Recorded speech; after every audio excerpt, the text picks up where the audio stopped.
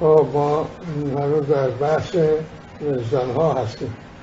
شب هم یعنی جمعه شب صحبتی کردم به اینکه آقای جامعه شناسی فرانسوی می‌گوید که یک دوره مبارزاتی که در جامعه ها معمول بود نزاعات اجتماعی مثلا کارگر با کارفرما صاحبان مشاغل آزاد پرسونیک و فروشندگان بزرگ.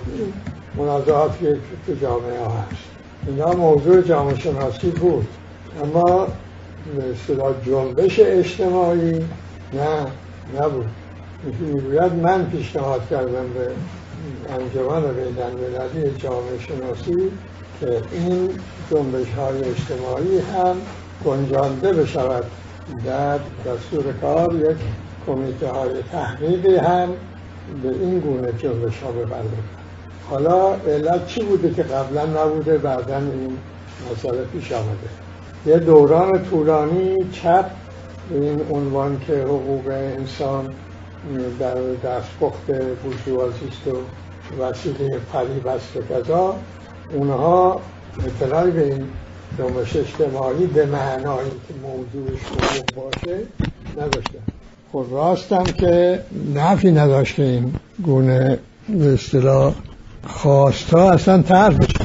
نتیجه اینکه حقوق نقشش کم شد در تنظیم رابطه ها در جامعه های غرب. نتیجه این وضعیتی که الان دارن.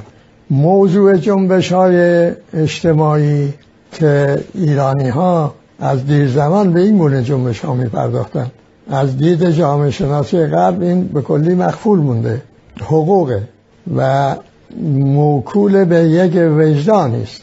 شهروندان پیدا کنند به اینکه انسان ها موجودات حقوندی هستند و این وجدان همگانی بشود.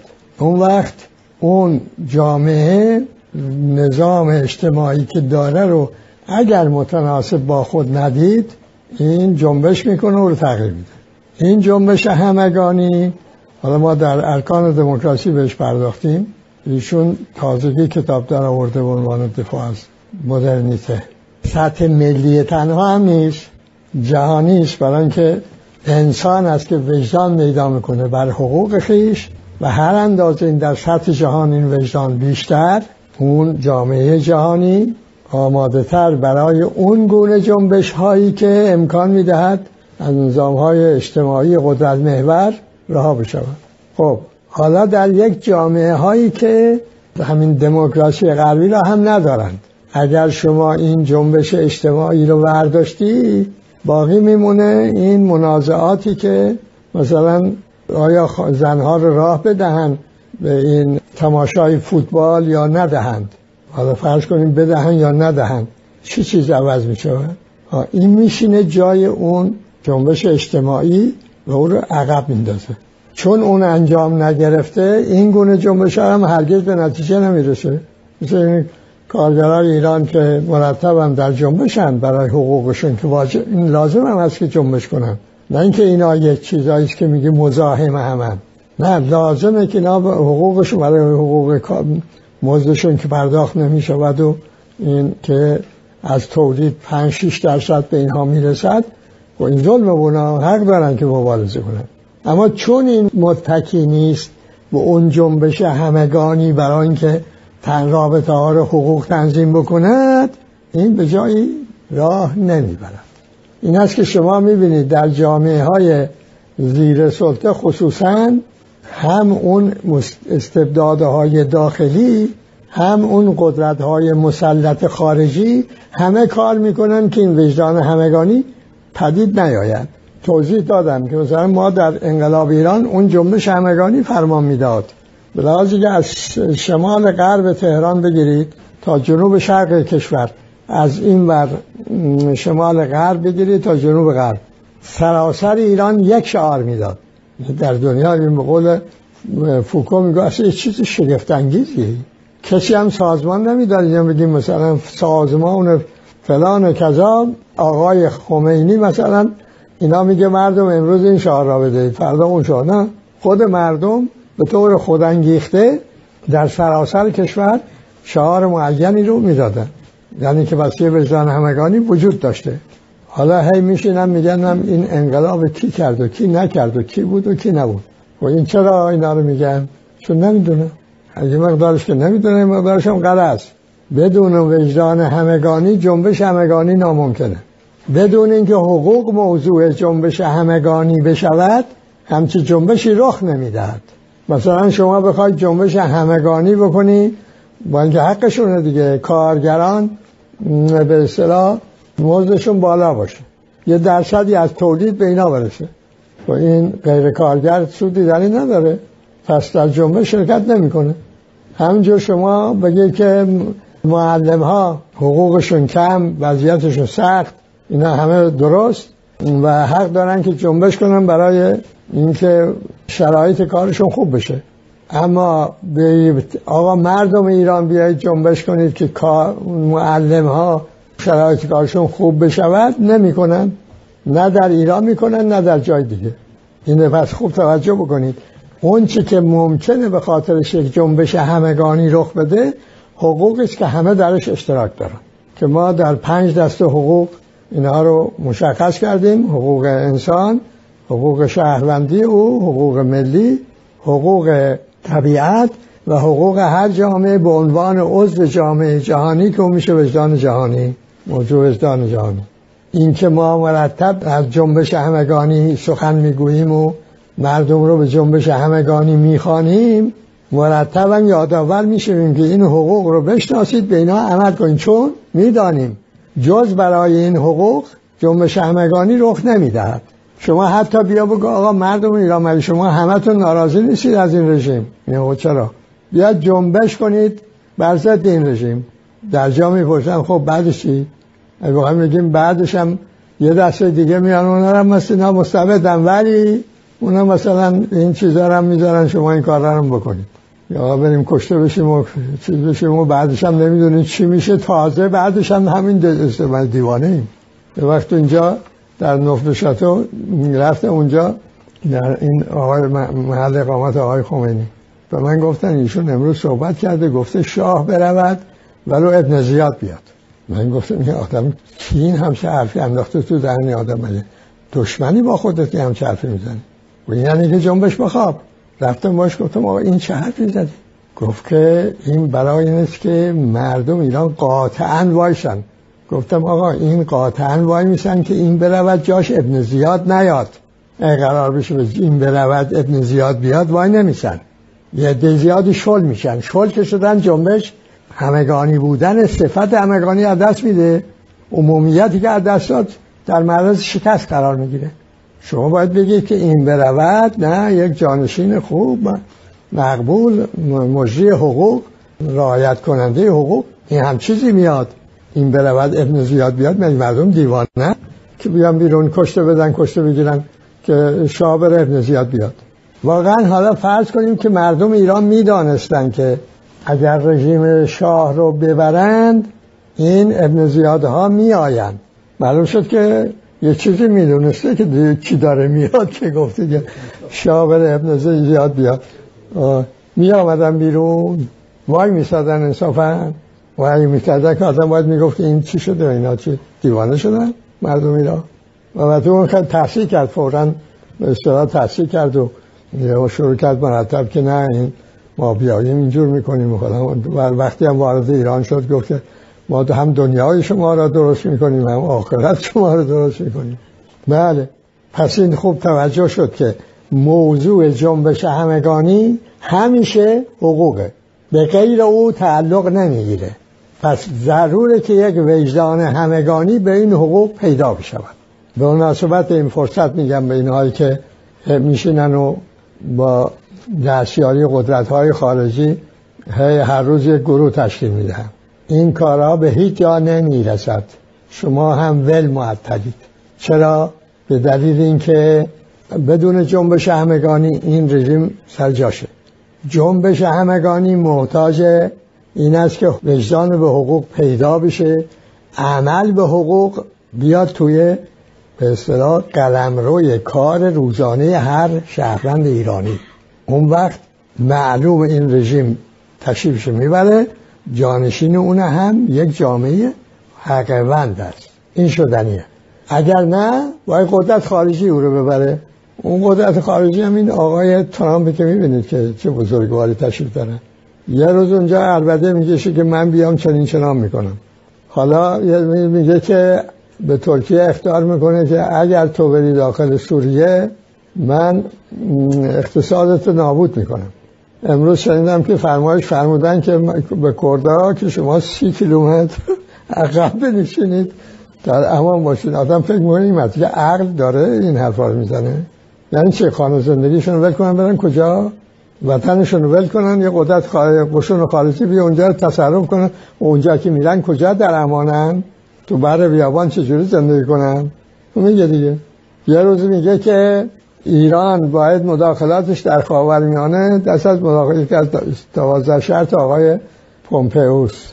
لازم یک گروهی به سلامتی خودش رو معمور دوران گذار فرمودن. جز چیزهایی که پذیرفتن همین دوازده شرط آقای پومپئوس. تماشا بکن. خب قرار بشه ما ایرانی ها تمکین بکنیم. چرا به شما تمکین کنیم؟ خب مستقیم به آقای پومپئوس قرار مدار می‌ذاریم دیگه. آدم عاقل. تو که می‌خوای دستیار دست نشانده او باشی و مجری شرایط او و بقیه عقلشون کمتر از شماست یا میگن که دست دست دست و باز چرفته اونا میره هم کار می‌کنن. زمانی که زمان وجدان همگانی است. شما برمیدارین نقشه تر میدی که خورد کنین تمانده این وجدان همگانی هم که این در داغون کرده تکه تکه کرده این رژیم شما هر ریز ریز کنین. به کجا مخوای برسی؟ مردم دیوانن که جنبش کنن یا همچه سرنوشتشون پیدا کنن. ما با وجدان همگانی انقلاب کردیم. بعد انقلاب افتادیم به جان اینکه این تکه پارش کنیم. یک قسمت آقای خمینی و دستیارانش با مکتبی و ضد مکتبی و خونسا و نیمه مکتبی و بعدم بین خداشون خودی و غیر خودی. بقیهش هم این گروه های سیاسی منکر اصلا اصل وجود ایران شدن و وجدان ملی و اینا یعنی چی؟ اینا چیه اون چی که واقعیت داره وجدان طبقاتی است و و و و. حالا قافل از این که آقا این وجدان طبقاتی هم که تو میگی اگر تازه تو ایران واقعیت داشته باشه آقا باشه اون طبقه. وجدان به خودش پیدا کنه تا بتونی از اون وجدان حرف بزنی. حالا اگر نبود زوری که نیست. تازه اون باید در درون این وجدان همگانی عمل کنه. اگر برداری که او چیزی نیست که. گفتم که الان توضیح دادم. اون وجدان همگانی و برداری هر گروه میشه گروه مجزا. جدا جدا و پرت پرت فلا دیگری حاضر نمیشه برای خاطر این چیزی که تو حق خود میدانی عمل کنی. عمل کنه. همگان برای حقوقی عمل می‌کنن که همه دارند خب حالا شما به جایی که ترمیم بکنی برگردیم به ترمیم. اون وجدان همگانی که اون انقلاب شکوهمند رو ممکن کرد و جهان رو وارد عصر جدید کرد این وجدان باز بسازیم موضوعش شفاف کنیم نقصهاش رفت کنیم. بگیم خب چطور ممکن شد که این تیکه پاره بشود؟ برای اینکه این به حقوق شفافیت لازم رو پیدا نکرده. عمل به حقوق نیامد در قلم روی زندگی روزانه. نتیجه ممکن شد رو تکه پاره کنه. حالا برای اینکه این نقصا رو رفت کنیم اینا رو ول کنیم و اون مقدار هم که حد تکه پاره کنیم میگه که ایرانی کجا بود؟ هر گوشش یک گروه اونجا زندگی می‌کنن اونا بله خود مختارند این جامعه را به عمل بر نمی انگیزه فرضم کنیم که حقم باشه. که حقم نیست برای ما چند هزار سال با هم زندگی کردیم. که دروغ که نیست یه فرهنگ با هم ساختیم. مثلا آذربایجانی چه عناصر فرهنگی داره که کرمانی ندارد یا کرمانی دارد که آذربایجانی ندارد؟ ما حتی مثل ایالات متحده که نیستیم که هر گروهش از یک کشور آمدن تا اینا بیان و ادغام بشوند و یه فرهنگ همگانی پیدا کنن زمان می‌بره. ما چند هزار سال زندگی کردیم. این زبان فارسی ما حاصل کار مشترک همه مردم ایران است. ولو زبانهای محلیشون هم ترک بوده و کرد بوده و عرب بوده و اینا یک زبان مشترک ایجاد کردن که زبان ادب اونها بوده زبان علم اونها بوده زبان فلسفه اونها بوده زبان مکتوب اونها بوده. زبانی بوده که در اون وجدان تاریخیشون رو اظهار می‌کردن. خب حالا شما موقع همین رو تکباره کنی و جاش چی بذاری؟ مردم ایران حاضرن که همچی چیز رو عمل بکنن؟ که چه ببون از ایران؟ تماندش هم بدیم آقای پومپئو با اون دوازده شرطش بگه خب حالا که این شرایط عمل کردی دیگه ها شما شدی گفت که دیروز دیدم یه متنی گذاشته بودن که این دعوای چین و آسیا و امریکا و اروپا و نقش نفت. بر طرف توضیح می‌داد که این امریکا دست پیدا کرده بر عراق اینقدر منابع داره و این که خیال کنی از عراق می‌رود حرف مفته و این منابع رو اینقدر خرج کرده دست انداخته برش ول می‌کنه بره. اما اگر بخواد که این, این جای چین و نمی‌دونم هند و اروپا رو در گروگاهشون رو در اختیار بگیره احتیاج به ایران داره. این موقعیت ایرانه. این موقعیت اگر ما ازش استفاده کنیم و در استقلال و آزادی از این کشور نیرومند بسازیم کردیم نکنیم میشه همین. یا باید تکه پاره بشه اونجور که آقایان می‌خوان و وسیله کار این امریکایی ها اونم تا وقتی که نیاز دارن وقتی هم که نیاز نداشتن همین بلا که سر کردای سوریه آوردن سر بقیه هم میارن. خب پس این با این توضیحات که عرض شد توجه می‌کنید که این که ما شعار کردیم جنبش همگانی اولا الان یک مسئله جهانی است چون در غربم حالا طرحه. جنبش برای بر مبنای وجدان بر حقوق طرح الان. چون می‌گوید اگر ما این کار نکنیم در معرض نابودی هستیم. این آقای آلانتورا می که ما حتی ممکنه که این دولت ملت ها هم نمونیم بلکه زیر این وزنه عظیم چین و هند خورد میشیم. آقای مکرون هم که میگه از اروپا در خطر. پس چون یک جهانی است و ما تقدم داشتیم در فهمیدن این امر و عمل کردن به این امر پس جا دارد که ما ایرانی ها تجربه رو رها نکنیم. که می‌بینی که رها کردیم میفتیم تو این هایی که اینقدر چالو چلاش بزرگه که یه دفعه ممکنه بیفتی دیگر نتونی بیای بیرون. به جای این برگردیم و ببینیم که اون وجدان همگانی کاسی هاش کدام ها بوده رفت کنیم. و این بار تحول به ترتیب انجام میشه که ما جامعه باز تحول پذیر با مردمی حقوند داشته باشیم. حالا با این توضیحات که عرض شد ما وارد میشیم به دنباله بحثمون. گفتیم که وجدان همگانی تغذیه می شود از وجدان تاریخی از وجدان علمی از وجدان اخلاقی. و دو تا حق یکی حق اختلاف یکی حق اشتراک اینها رو اون وجدان هر کدوم از این وجدان ها به کار می‌گیرن.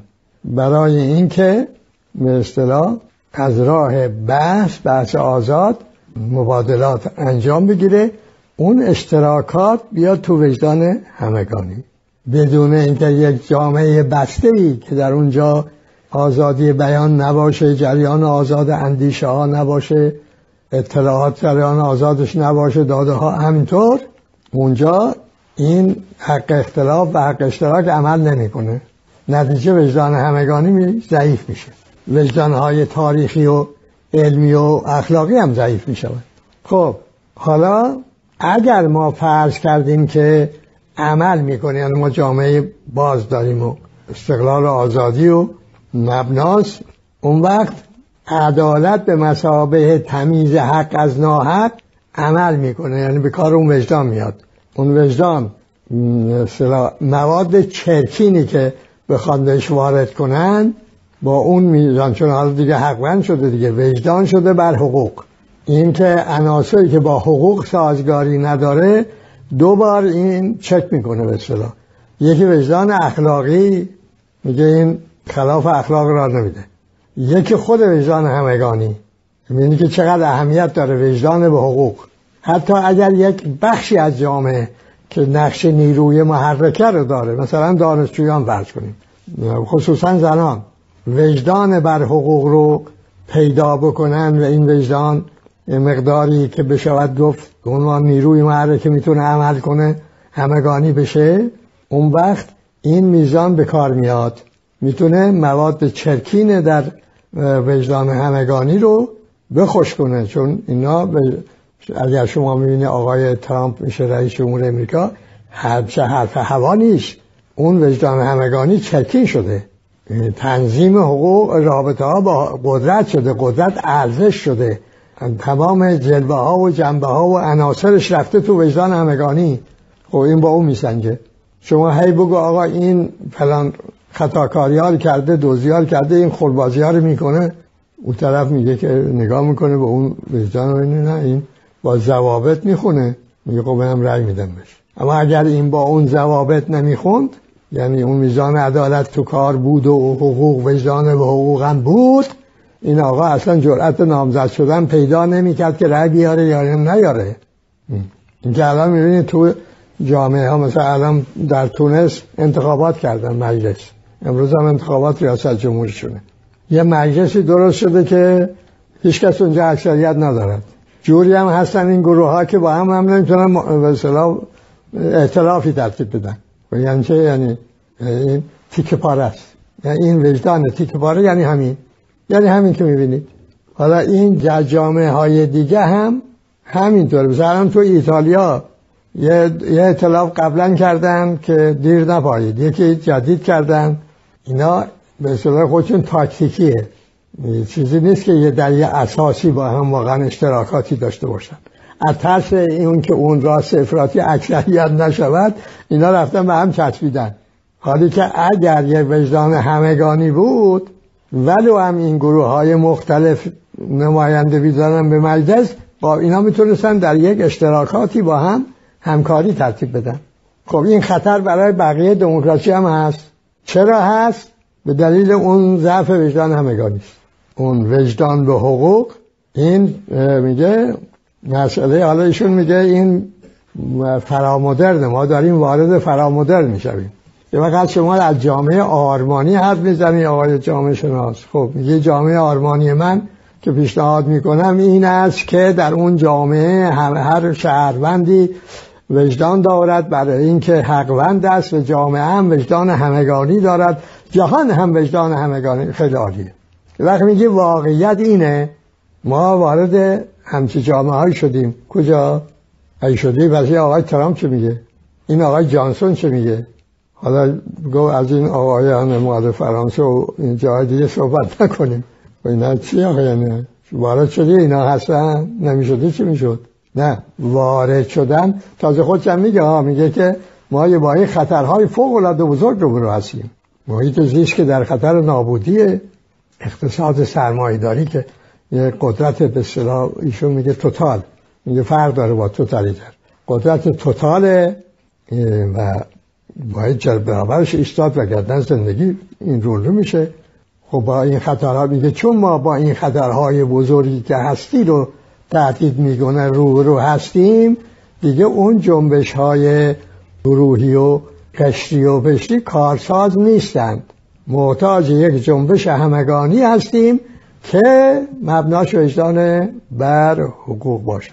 خب انصافا ما که پنجاه سال پیش گفتیم اینو. در همین کتاب ارکان دموکراسی که با تفصیل بحث دادیم اینو. خود شما مردم ایران که عمل کردی این وجدان همگانی پیدا کردی و عمل کردی. چرا اینجور این رخوت تو رو گرفته؟ هی میشینه میگه که آقا یکی بیفته که آقا چون خودت بشو آلترناتیو خودت بدیل خودت. چون تا این نشوی حق وند نشوی کی می‌خواد از این حق وندی شما نمایندگی کنه؟ در یک جامعه استبداد زاده ای بیام به من بگم آقا بیا شما اونجا بشو همه کار دیوانم قبول کنم. من قبول کردم که رئیس جمهور ایران بشوم. اون وقت صحبت وجدان همگانی بود. صحبت این بود که ما می‌خواستیم اون اصول راهنمای انقلاب ایران رو به عمل بگذاریم. صحبت از این نبود که آقای خمینی مخوادم از ولایت مطلقه فقیه بزنه. حالا زد. زد این وضعیت شد که می‌بینید خب بعد فرستاد سراغ من. شما که می‌دونید که دو بار هم این آقا فرستاد. چرا قبول نکردن؟ رو گذاشتیم برای اینکه این جامعه جامعه حقوندی بشود. پس این می‌بینید که این میزان عدالت اجتماعی اهمیت داره. به هر این وجدان ها امکان میده که مرتب خودشون رو نقد کنن. یک وجدانی مثل آدمیزاد خودشه. با صحبت وجدانی می‌کنیم بعضی فکر می‌کنن مثلا وجدان چی چیه؟ مثلا چیز عجیب غریبیه. کجاست؟ جاش کجاست؟ همین زندگی روزانه خودمون رو ببین. اگر یه وقت هست که آدمی می‌خوره هر چه آمد. و خور خوابش هم هر وقت شد.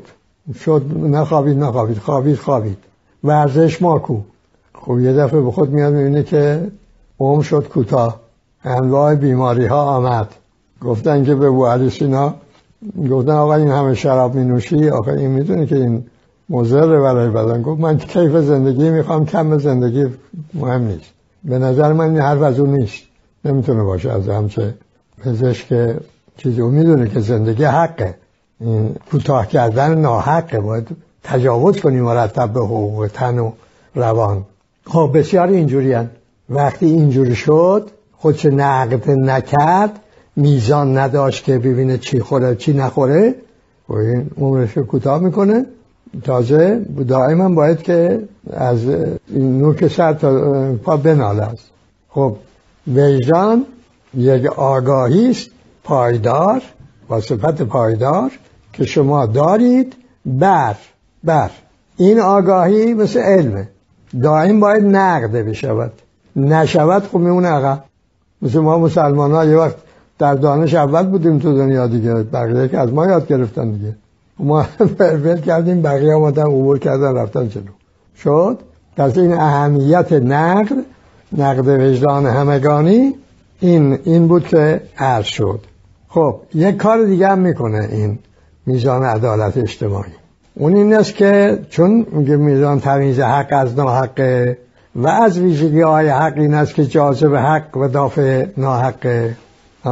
اون روشن بودن حقوق در وجدان بهش امکان میده که هر چی که حق هست جذب کنه و غنا پیدا می‌کنه.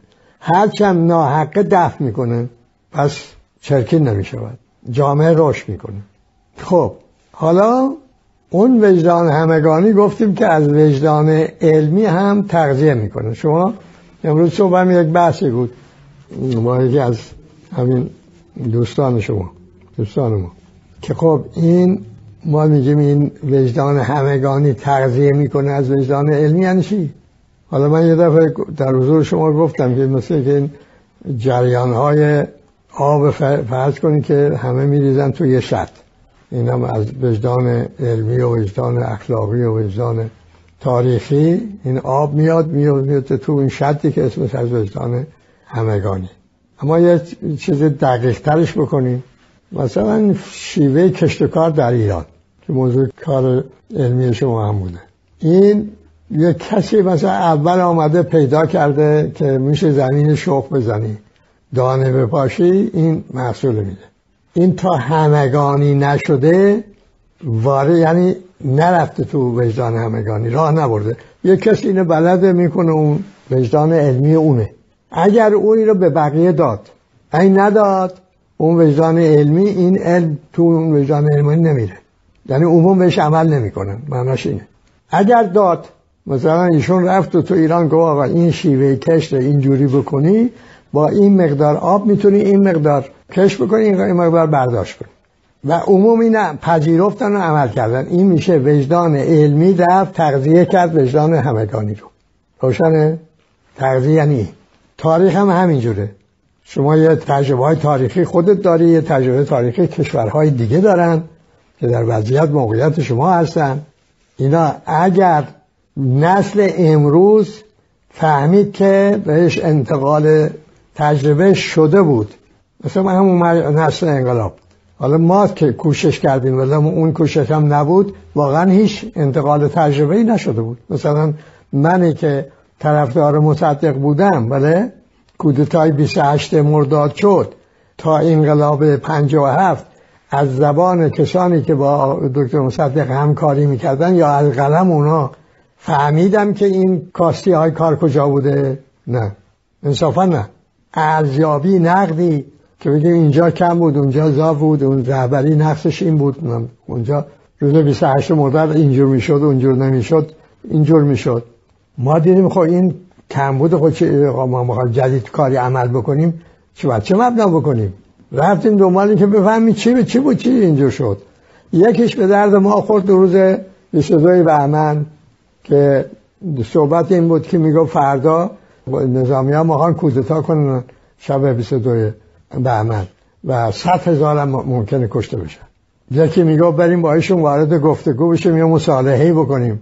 نه بعد از ظهر 21 بهمن ها این بحثه ها یکی هم گفت که آقا این اشتباه دوره مصدق 28 مرداد تکرار نکنیم. باید که از مردم خواست که کوچه ها و خیابان ها رو پر از جمعیت بکنن. خلوت بکنی یعنی طرف بیا بگیر.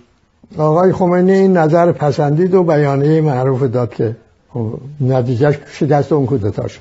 خود ما کوشیدیم در این دوران از انقلاب تا امروز همه اون کاستی ها رو به نسل های بعدی منتقل کنیم. حالا خودش نمی‌خواد گوش بده او به ما ربطی ندارد. واقعا کاری که ما بعد از انقلاب ایران کردیم نه در بعد مشروطه شده نه در بعد ملی شدن نف شده نه در این انقلاب غیر ما کسی کرده. همه چیز رو در اختیار گذاشتیم. نسل امروز می‌توانه وجدان تاریخیش کاملا غنی باشه. بدون چه کار باید بکنه چه کار نباید بکنه.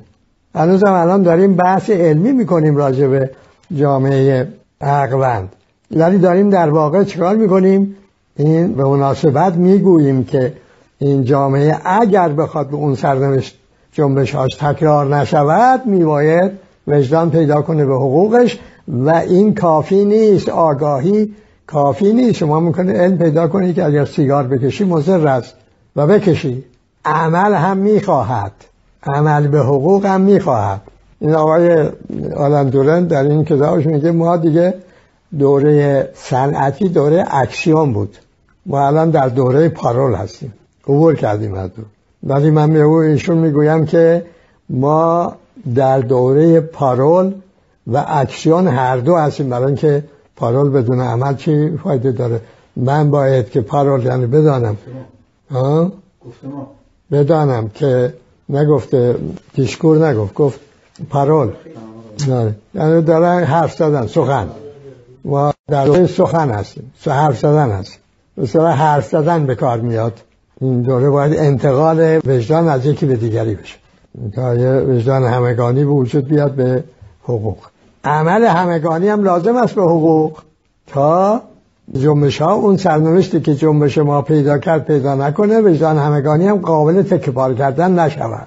خب به این ترتیب که گفتیم پس معلوم شد که تقضیه از وجدان علمی یعنی خیلی چیزا هست که علمیه تو جامعه های اروپایی هم هست اما هنوز همگانی نشده.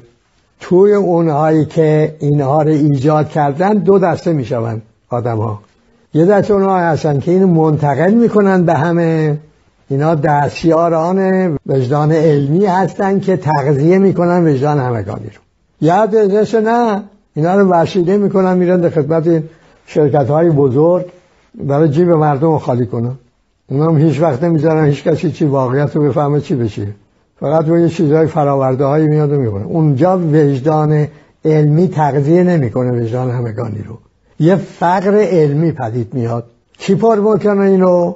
خانم لوپن یا در امریکا آقای ترامپ یا در انگلیس آقای جانسون. توجه شد؟ اینه که گفت که کسان می میگن گاهی هم میگه میگه آقا شما مردم میرن چیزهای درسایی می‌خونن بابت اینکه یک ساعت حرف بزنن فلان قد پول می‌گیرن. یا این سیاست مدارا میدن کنفرانس میدن برای هر کنفرانس 100 هزار دلار پول می‌گیرن. شما هم میگی هم می‌نویسی هم مجانی و همه میدی التماس هم می‌کنی که بیا بابا گوش بده این چیزی پیدا کردیم بده. ها ما جنم در پی خورد و خورد نیستیم. در پی این انتقال علمیم به وجدان همگانی. به این دلیل است که با هم عقل و شعور داریم دیگه. هم می‌دونیم که این وقتی که می‌گذاریم قیمتش صد برابر تلاس نه تلاس صد هزاران برابر تلاس این هم می‌دونیم. هم می‌دونیم به اینکه این هزینه ها رو نکنیم. اینا رو بکنیم مداخل. بابت این چیزایی که می‌دانیم بخوایم پول بگیریم می‌تونیم خیلی بهتر از این زندگی کنیم. این هم می‌دونیم. اما این وجدان همگانی رو تغذیه نمی کنند و جامعه های بشری نیاز دارند به اینکه وجدان های علمی وجدان علمی تغذیه کنه وجدان همگانی رو. این است که ما می‌گوییم که اینم به لحاظ اینکه گفت پای خدا رو از میان برداری هیچ کدوم این چیزا قابل فهم نمی که بگیم این برای رضایت خدا می‌کنیم قابل فهم میشه. در واقع داریم به حقوق عمل می‌کنیم. خب حالا نهمین مسئله باز در قلم روی این وجدان همگانی. ما یه حقی داریم و یک اصلی داریم و یک استعدادی داریم اسم استعداد رهبری که بنابر اون می‌گوییم هر کس خود خیشتن رو رهبری می‌کند. پس با این اصل که یکی دیگران را رهبری می‌کند موافق نیستیم. حالا یه وجدان همگانی می‌خواد به این اصل که در این حال هم استعداد هم حقه. این باید ایجاد بشه. نشود خب به محضی که شما حتی یه جمع هم جمع می شود مثل تو ایران ها. من یادمه که یکی از چیزها که ما رو به عصبانی می‌کرد این که تا یه جا جمع می شدیم می‌دونیم یکی پیدا شد و افتاد و به صرف کردن و اینجا بیست و تو اونجا نیست و آقا تو کی کرد معمور نظامت؟ خودش خود کرد. چون ایرانی عادت کرده به اینکه در تا جمع شد یکی بیفته جلو ادارش کنه. تو خارج هم همینجورا و اینکه آمدن در خارج عینا همین مصیبت گرفتارن. در چیز مرحوم نریمان در تشریح جنازه شو بعدش هم یکی دیگه هم مثل مرحوم شمشیری بود. هیئت اجرای جبهه ملی جلسه کرده بود نازم معین کرده بود بنی صدر رو. که نازم این تشریح جنازه اون چیز در مسجد ارک انتظامات اونجا رو تصدی کنه. به اصطلاح شلوغی پلوغی پیش نیاد و بهانه برای ورود قوای رژیم شاه تدارک نشه. خب حالا ما انتظامات بکنیم. تازه خودمون هم همیشه عصبانی هستیم از اینکه تا جمع می شدم یکی یکی خودشو می‌کرد نازم خب ما رو اول رفتیم جمع کردیم این دانشجویان دی باز با اونا رو نظم دادیم گفتیم این که این هیئت اجرایی تصمیم گرفت. من خودم رو نکردم و این هیئت اجرایی تصمیم گرفتم. ولی ما باید جوری عمل کنیم که اینا که میان اونجا حس نکنن که ما اینا رو داریم نظم انتظام میدیم. فقط حس بکنن به این که مراقب هستیم که یه آدمای ناجوری ناشری مثلا ساواکی ماواکی اینا اختلالات ایجاد نکنه همین. نری اونجا بگی که اینجا وایس اونجا وای نیست اینجور. حالا عمل کردیم خیلی هم خوب شد. چون همه فهمیدن که نه نمیرن اونجا اربابی کنن. میرن اونجا که جلو اختلال په اختلال رو بگیرن. ایجان دور توی منبر چیز خوندن. نوشته مصدقو که برای شبشیری نوشته بود. حالا داریم از تمام شده می‌خوایم بیایم بیرون. قوای آقای علی حضرت حمله ور شدن. حمله ور شدن و دکتر صدیقه آمد بیرون و افسر شهربانی خب مدتی وزیر کشور بود دیگه. درس هم می‌داد اون دانشگاه پلیس هم گویا درس می‌داد. اینجوری برایشون احترامات گذاشت و گفت خب چیه چه خبره؟ گفت ما معموری صدیقه هم پشت کرده با جمعیت گفت بیایید بیرون. حالا جمعیت آمده خب بعد جاده خود شد دیگه. در رفتیم ما. روز بعد صدیقه رفتیم اونجا خونه و صحبت پیش گفت این گفت چه شده گفتیم اینجور شده ما هم در رفتیم. گفت که در که نرفتید. گفتم یعنی چی در نرفتیم؟ میفرمودیم این اونجا ما رو می‌گرفتن. بله خود در رفت یعنی بخواست بگه شعنش ما که نیست که در برید که مثلا با احترامات مثلا با احترامات بایسته و شایسته محل رو ترک گفتیم. نه اون می‌زد و می‌گرفت و ما هم در رفتیم. نه اینجوری. این که گفتیم رهبری هر کس حق خودش هست. این بخواید وجدان همگانی بهش پیدا بشه. این چقدر مشکله در جامعه ها که همین قبلش هم چه مسئله مشکلیه. چه به جامعه هایی که در استبداد زیستن. این هر وقت بخواد که مثلا یک چیزی صحبتی بکنه با یک کسی که به او اعتمادی داره او حرفی بزنه که بقیه گوش بدن. اینکه خودش ببینه که آقا من این حق دارم این استعدادم دارم و این همه این رو پیدا کنند ما یه جامعه جدید پیدا می‌کنیم.